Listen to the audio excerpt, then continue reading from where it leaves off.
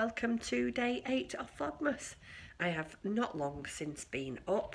I've just had my morning coffee um, with Zach and I'm now just going to throw on some old clothes and go for a walk in a very wet and soggy and very foggy um, Tuesday morning. It is so miserable here today. Um, but, you know, there's nothing else we can expect really because it's winter.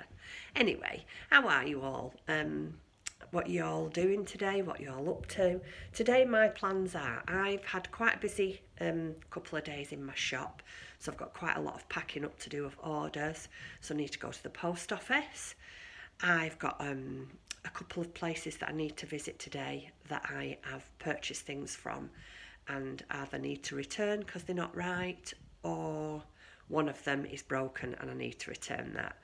I am going to try and do a little bit of work in my craft room today. Um, for me, more than for the shop, and um, do a little bit of baking and whatever else happens today. Um, so yes, just wanted to pop on. Um, oh, my hair. This is my hair. Um, my hair is in a terrible state. It is in desperate need for a haircut, but I it can wait. I'm not going to have my hair cut until we've got Tim sorted.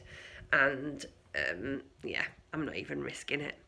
Um, I've just read on the in the news. I have um, a newspaper on my iPad, and I've just read in the news this morning that the first vaccine has been delivered to a, I think it was a 90-year-old lady. So it started hopefully today will mark the beginning of the end of this horrendous virus and we can all sort of try and get back to some sort of normality again. Oh, I do hope so. Whilst I'm fine, don't get me wrong, I am desperate to have my life back.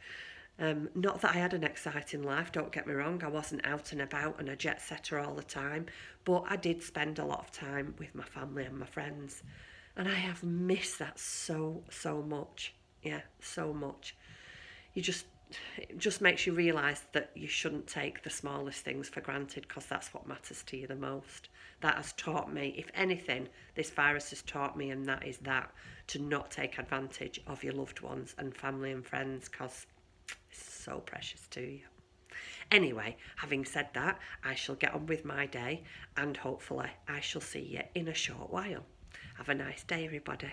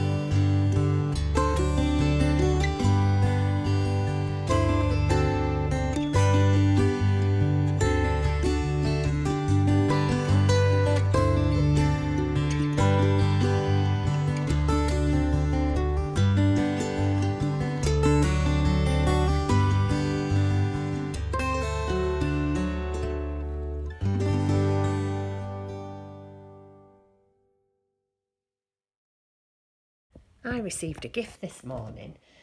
Um, it was my birthday in October, and Tim bought me a subscription to an, an embroidery magazine.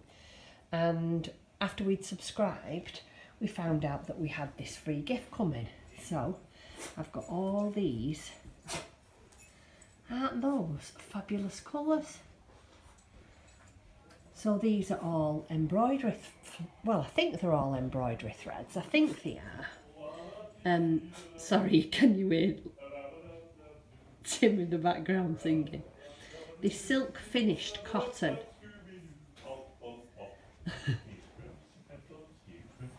can you hear him? Bouncing off the walls.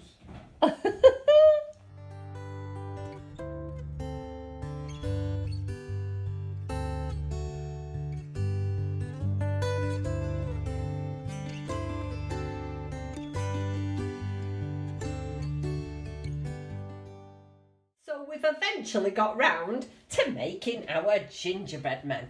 Um, Tim's done all the ingredients for me. So we've got in here is flour. In here is um, what's in here, love? Um, a little bit of brown sugar and a little bit of muscovado. Sugar, butter, um, ginger, cinnamon, bicarbonate of soda, and one egg. Oh, and golden syrup. So we're just about to do it now. So all there's the ingredients. And in the flash of YouTubeness, they'll all be finished.